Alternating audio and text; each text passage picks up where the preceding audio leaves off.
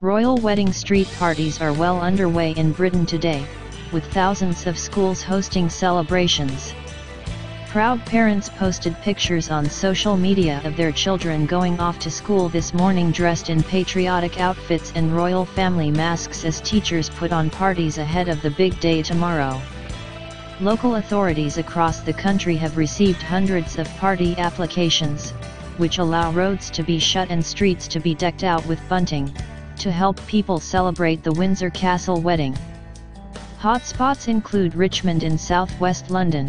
which is hosting 93 parties over the wedding weekend although Scots appear less enthused occasion, with just one reported street party taking place, in Elgin, Moray. Offices around the country and overseas are also holding parties of their own with bunting hanging from the ceiling and patriotic cakes for staff, while some schools are even holding a Meghan Spoon race for pupils. England and Wales have a proud history of street parties, which started as peace teas after the First World War as a treat for children in days of hardship, and have evolved into a tradition on national days of celebration